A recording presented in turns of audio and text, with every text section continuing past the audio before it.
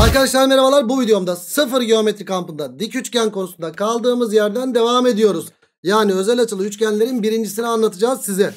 Evet kitabımızda da sayfa numarası 39, 40 ve 41'i anlatacağız.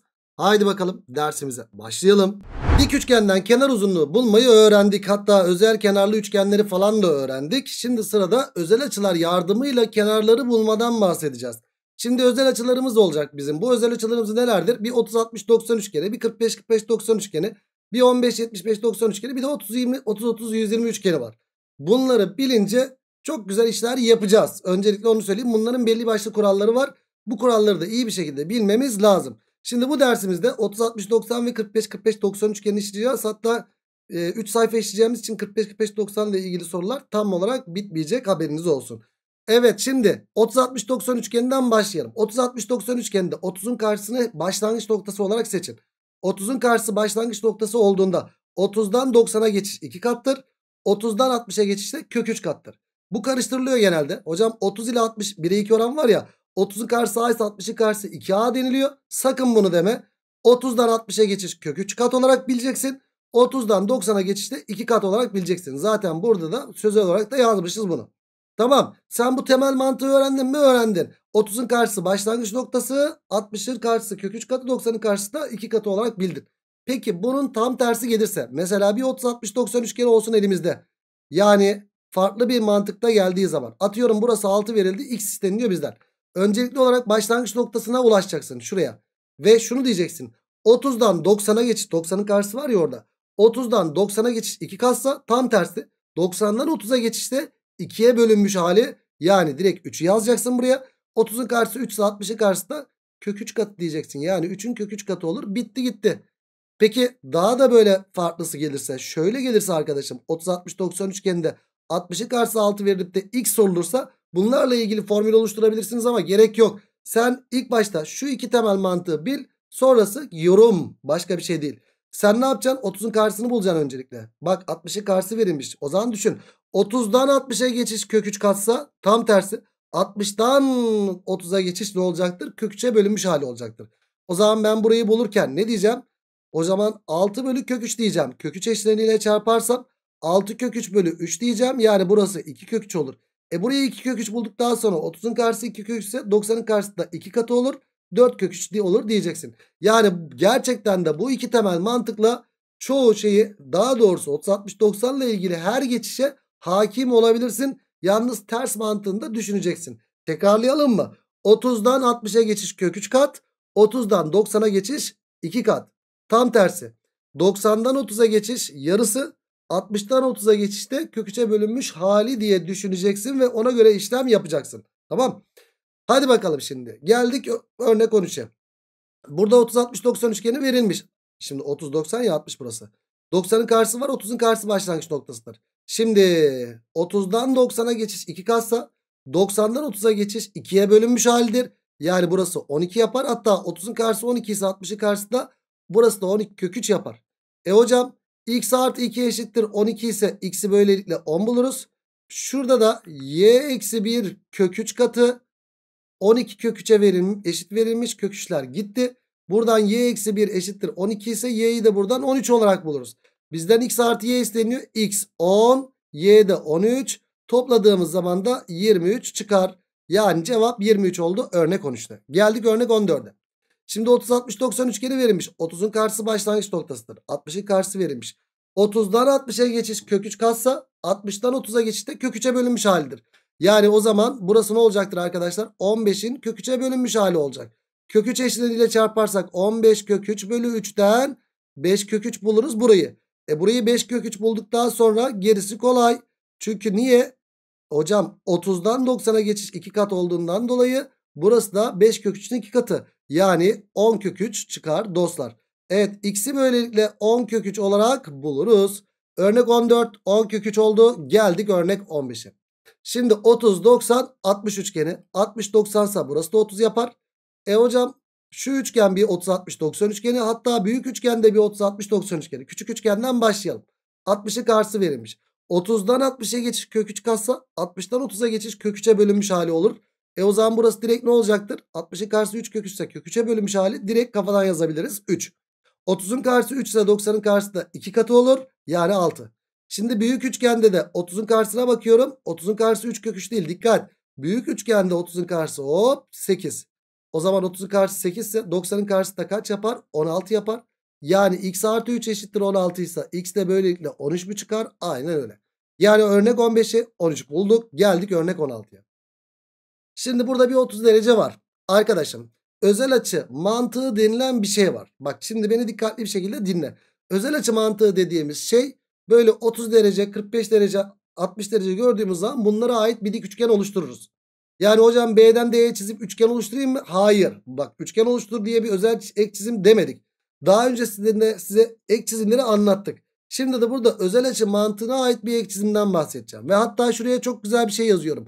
30, 45 biraz sonra bunun üzerinde bayağı bir duracağım. 30, 45 ve 60 bunlar özel açılardır. Bunları gördüğün zaman özel üçgen oluştur. 30 görürsen 30, 60, 90. 45 görürsen 45, 45, 90. 60 görürsen de 30, 60, 90 oluştur. Bunları nasıl oluşturacaksın? Dik çizerek. E hatta burada 150 bunların 180'e tamamlayan açıları 150, 135 ve 120 derecede özel bir açıdır. Ve ben bunları kalp için alırım. Bu kalp içine aldığımız açılara ne yapacaksın? Dokunmayacaksın. Bunlar dokunulmaz. Bunlar parçalanmaz. Sen bunlara dokunursan, sen bunları parçalarsan sonuca ulaşamazsın. E hocam 150, 135, 120 gördüğümüz zaman nasıl olacak? Burada da özel açıları şu 180'e tamamlayan açıları zaten biraz sonra bununla ilgili sorularda yapacağız. 150'nin 180'e tamamlayanı kaç yapıyor mesela? 30 derece. 135'in 45 o da özel bir açı. 120'nin 60 o da özel bir açı. Şimdi gelelim şuraya. 30'u gördük ya. 30'u gördüğümüz için hocam bir dik çizelim. O diki tutup da buradan çizmezsiniz herhalde ya. Şu D köşesindeki kıvrımdan şöyle bir dik çizsek. Hocam ne oluştu burada? 30 60 90 üçgen oluştu. İşte bazen özel açılarda hali hazırda 30 60 90 üçgenleri karşımıza çıkmayabilir.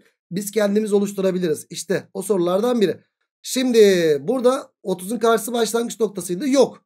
Zaten biz çizdik. 90'ın karşısı verilmiş. E ben şunu biliyorum. 30'dan 60'a geçiş 2 kas pardon 30'dan 90'a geçiş 2 kassa o zaman 90'dan 30'a geçişte yarısıdır. 2'ye bölünmüş haldir. Yani burası 3 yapar. 30'un karşısı 3 ise 60'ın karşısı 3 kök 3 yapar. Hocam bunun tamamı 7 kök 3 olduğundan buraya 4 kök 3 kaldı. Burası da 90. Şimdi burada x isteniyor bizden. X'i nasıl bulacağız? Ya şimdi özel üçgenli kısmı hallettim. Şimdi 90'lar var burada.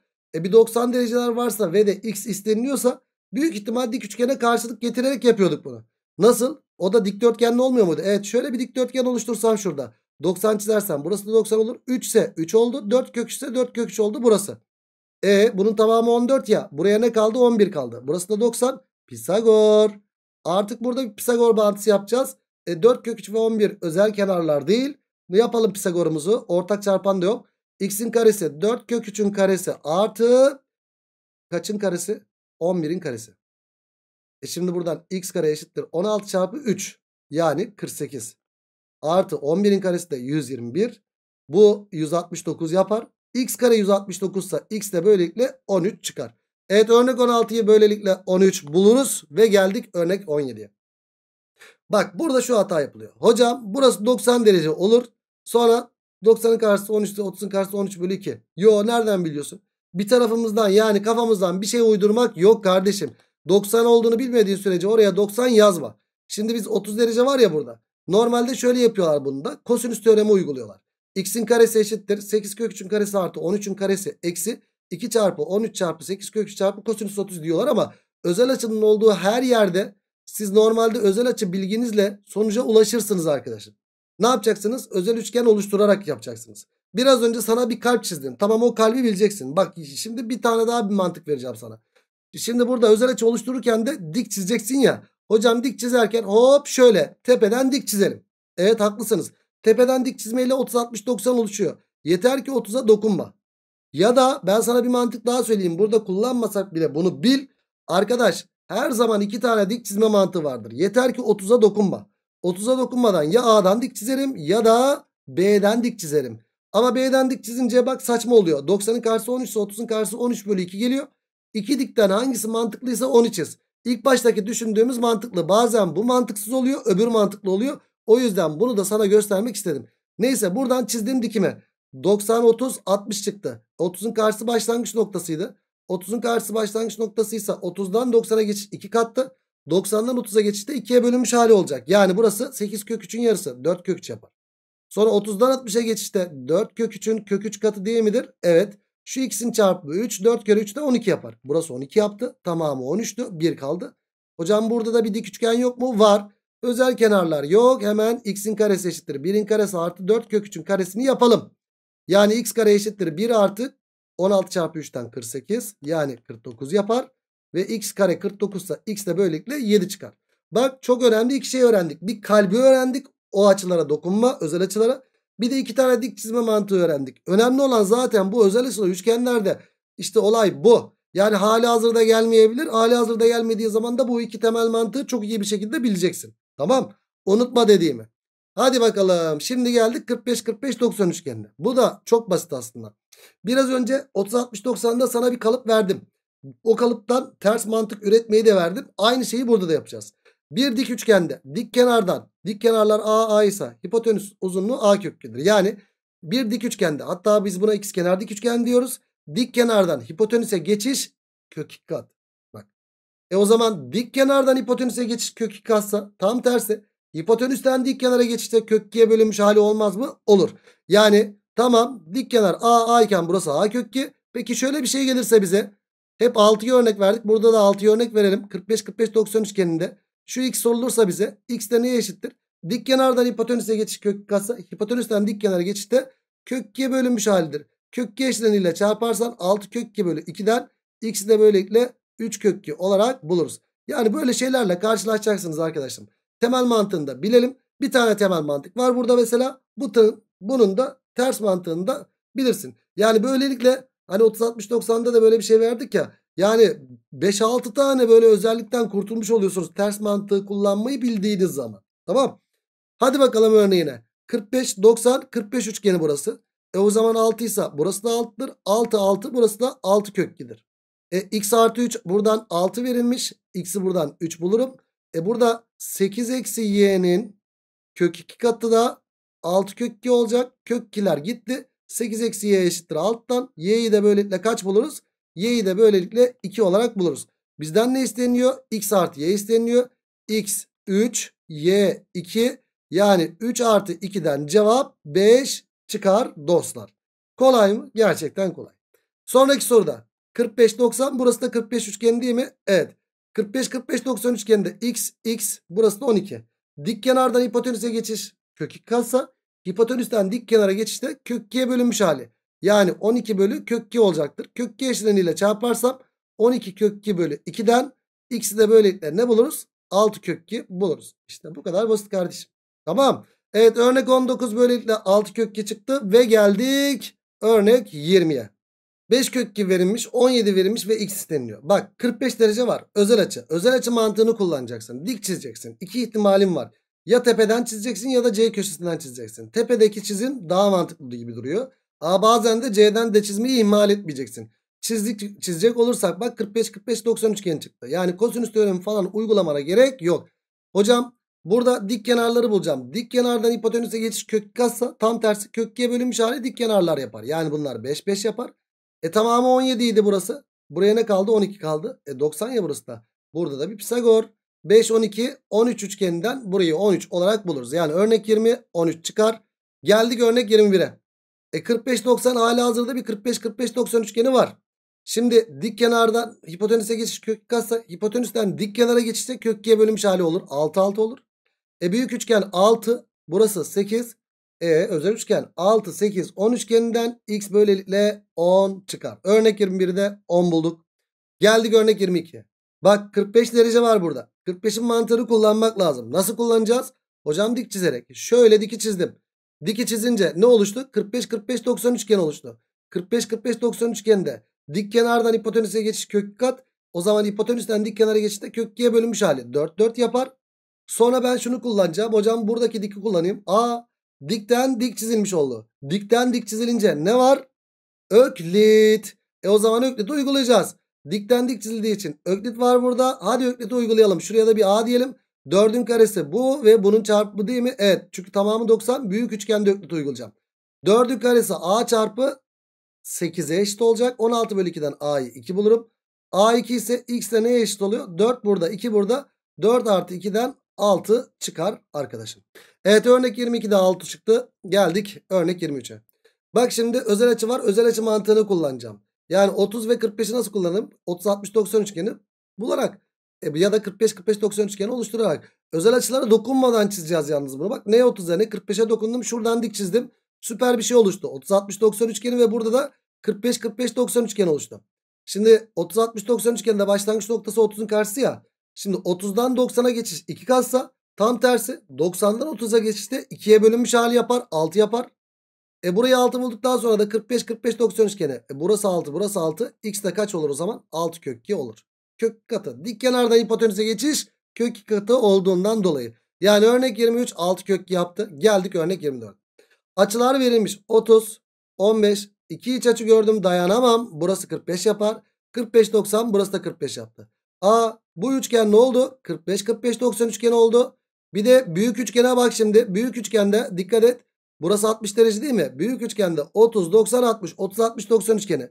E benim için önemli olan 30'un karşısı. Zaten büyük üçgende 18 kök 2 verilmiş. 30'dan 90'a geçiş neydi? 2 kattı. O zaman 90'dan 30'a geçişte 2'ye bölünmüş hali. 9 kök 2 olur burası. O, hocam 45 45 90 üçgeni ya burası. E o zaman 9 kök 2 ise burası da 9 kök 2'dir. X de ne olacaktır? Dik kenardan hipotenüse geçiş kök 2 kat değil miydi? Evet 9 kök 2'nin kök 2 katı. Sakın 9 demeyin. 9 kök 2 ise 9'dur. Hayır. Dik kenar 9 kök 2 ya kök 2 katı olacak. Şu x'in çarpımı 2 9 keredeki 2 de kaç yapıyor? 18 yapıyor. Yani örnek 24'ü 18 bulduk. Geldik örnek 25'e. 150 derece verilmiş. Şimdi bunu gören masum öğrenci hop şuradan dik çiziyor. Hayır. Biraz önce bir kalp çizdim. 30, 45, 60 ve bunları 180'e tamamlayanları. Yani 120, 135, 150 derece. Bunlar özel açılardır. Bunlar dokunulmaz. Bunlar parçalanmaz. Sakın bu hatayı yapma. Sen buradan dik çizerek hata yaptın. Olmaz. Peki hocam 150 yani ben bu geniş açıları görünce bu 150'nin 150'nin nesi özel? Arkadaşlar şimdi biraz önce 30, 45, 60 gördüğümüzde ne yapmıştık? Bak bak bak dikkatli dinle. Burası 30 ise şuradan dik çizdirdik. Ya da burası 45 olsaydı arkadaşlar yine buradan dik çizerdik. Ya da burası 60 olsaydı yine buradan dik çizerdik. Ya da dikili şuradan çizerdin değil mi? İki ihtimal var demiştik. E burası 60 da olsa 45 de olsa yine dikili buradan çizebilirdin. Yani iki ihtimalin vardı. Ya buradan çizeceksin ya buradan çizeceksin. 45'e dokunma ne yaparsan yap. Peki hocam 150 yani geniş açı gördüğüm zaman ne olacak? 180'e tamamlayan açısını düşüneceksin. 150'ni 180'e tamamlayan açısı ya buradaki açısını düşüneceksin 30 derece. Yani şu 30'u nasıl kullanırsın? Şuradan dik çizerek kullanırsın. Birinci ihtimalim bu. İstediğin şekilde yapabilirsin bu arada. Ya da hocam 150'nin nesi özel? 180'e tamamlayanı. Şöyle de yapabilirsin 180'e tamamlayanı. İstersen şu AC'nin de 180'e tamamlayanı şeklinde yapabilirsin. Ama nedense bunu gören hep böyle çiziyor. 150 ise burası 30 derece diyor. Bak bak yapılan hataya bak. Buraya 30 diyor. Kardeşim bu sivrilen yerden paralel çizme tekniğiydi. Bu değil. 180'e tamamlayan açısı burası değil. Ya ondan sonra da şuradan böyle bir dik çiziyorsunuz. Sonra yine buradan dik çiziyorsunuz. Böyle hata üstüne hata yapmaya devam ediyorsunuz böyle. Sonucu buluyorsunuz yanlış buluyorsunuz. Kardeşim burası 180'e tamamlayan açısı bu değil. Şuradan böyle çizme değil. 180'e tamamlayan ya BA'nın uzantısı ya da CA'nın uzantısı. Yani şurası. CA'nın uzantısı da bak burası 30 derece. Bu 30'un mantığını kullanmak için de şuradan dik çizebilirsin mesela. Dik çizdim. Hocam 30 60 90 üçgen çıktı burada. 90'ın karşısı verilmiş. Normalde başlangıç noktası 30'un karşısı olmalıydı. 30'dan 90'a geçiş 2 kattı. 90'dan 30'a geçişte 2'ye bölünmüş hali olur. O zaman 2'ye böl bakalım. 90'ın karşısı 2 kök ise 30'un karşısı 2'ye bölünmüş hali kök 3 yapar. 60'ın karşısı da kök 3'ün kök 3 katı yapar. Kök 3'ün kök 3 katı da 3 mü yapıyor? Evet burası da 3 yaptı. Sonra x isteniyor benden. X'i bulmak için de büyük dik üçgene bakacağım. Burası kök 3 burası 7 ve x var. Yani x'in karesi eşittir. Kök 3'ün karesi artı 7'nin karesi x kare eşittir 3 artı 49 yani 52 yapar. Ve x de böylelikle kök 52 buluruz. Bu da 4 çarpı 13 ya. 4 dışarıya 2 diye çıkar. X de böylelikle 2 kök 13 çıkar mı? Çıkar. Yani cevabı 2 kök 13 diye buluruz arkadaşlar örnek 25'te. Evet örnek 25 2 kök 13 çıktı. İşte geniş açılarda da bu şekilde hamle yapacağız. Bunu da unutma. Geldik şuraya 135 derece var. Hocam 135 derece var ya 135'te de bak 180'e tamamlayan açısı ya buradaki ya da şuradaki. E buradaki 135'in 180'e tamamlayanı 45 ya. Bazen bir tanesi her ikisi de mantıklı olmuyor. Bir tanesi mantıksız oluyor. Mesela şuradan dik çizersen 17 bölü kök 2 17 bölü kök 2 ile uğraşacaksın. Ne gerek var? E o zaman ne yapalım? İki ihtimalim var ya ikinci ihtimalde düşünelim. Bir de bunun uzantısı oluyor değil mi? Evet. Bunun uzantısı da bak 45 derece değil mi? Evet. Şimdi 135'in 180'e tamamlayan açısı 45. 45'in mantığını kullanabilirim. 45'i gördüğüm için şuradan bir dik çizebilirim.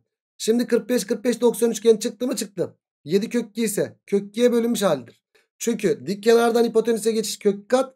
Hipotenüsten dik kenara geçişte kök 2'ye bölünmüş hali olur. Yani 7'ye 7 yapar. E büyük üçgene bak şimdi.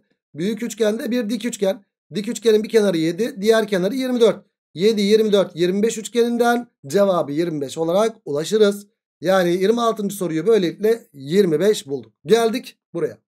Şimdi buraya baktın. Sen ne yaparsın? 30'u gördüğün için hop hocam dik çizeyim böyle. Çok güzel harikasın. Mükemmel bir iş yaptın.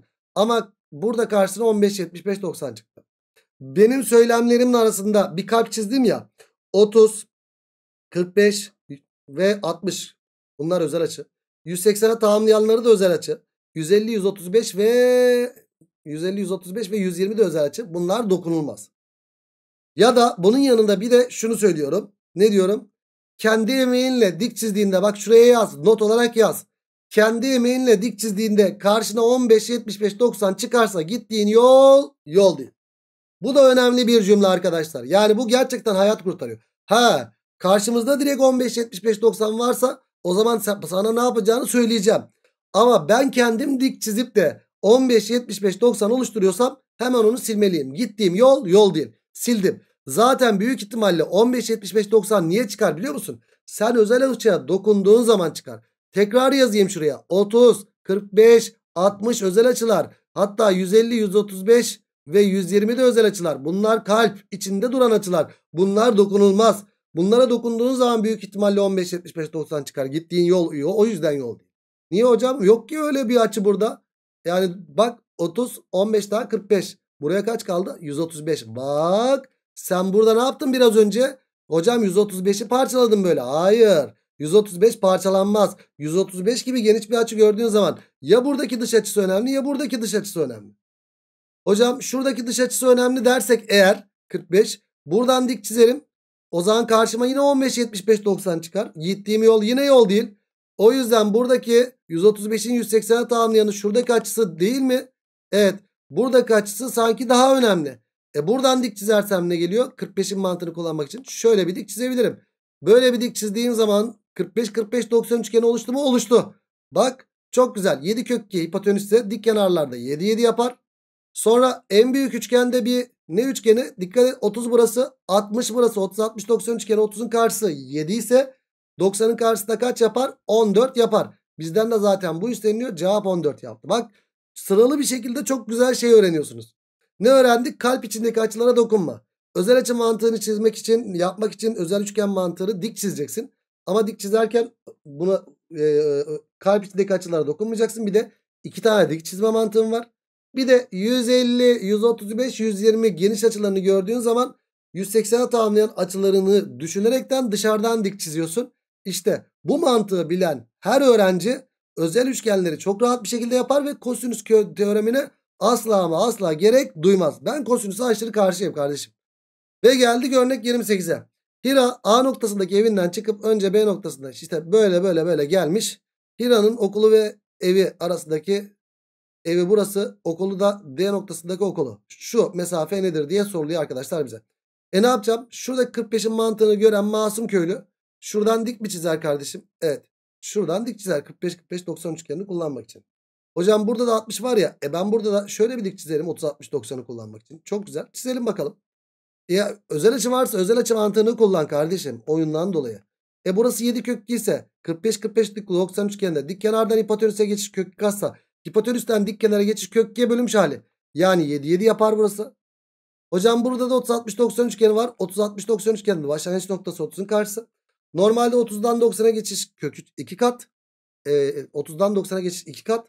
90'dan 30'a geçişte 2'ye bölünmüş hali. Burası kök 3 yapar. Hocam kök 3 burada. 7 burada. 7 artı kök 3 buradaysa o zaman buraya kaç kaldı? 3 kaldı. 10 artı kök 3 yapıyor bak burada. Çok güzel. E bu arada 30'u karşısı kök 3 60'ı karşısı ne yapar? Kök 3'ün kök 3 katı. 3 mü yapar? Evet burası da 3 yaptı. Şimdi bizden ne isteniyor? X. Arkadaş X isteniyorsa bir de şekilde 90 dereceler varsa o 90 derecelerini nasıl kullanıyorduk? X'i de bulmak istiyorsak dik üçgene karşılık getireceğiz. Nasıl? Dikdörtgenle. Şurada bir dikdörtgen oluşturdum. Şöyle hocam 3 ise karşısında 3'tür. 3 ise bu karşısında 3'tür. Tamamı 7 ya 4 kaldı buraya. Ve şurada ne var? 1, 3, 4, 5 üçgeni var. 3, 4, 5 üçgeninden x'i de böylelikle 5 olarak buluruz. Güzel bir soru. Özel açı mantığını anlatan gerçekten çok hoş bir soru. Dik üçgeni de böylelikle tekrar da etmiş bulunuyoruz. Hatta burada da dik üçgende dikdörtgen oluşturarak bir dik üçgen oluşturma tekniğini de yine kullanmış oluyoruz. Evet böylelikle arkadaşlar burayı da bitirdik. İsterseniz burada bir mola verelim. Son 3 sayfayı da özel üçgenlerde dik üçgendeki son 3 sayfayı da bir sonraki videoya bırakalım. O zaman bir sonraki videoda görüşmek dileğiyle kendinize iyi bakın. Hoşçakalın.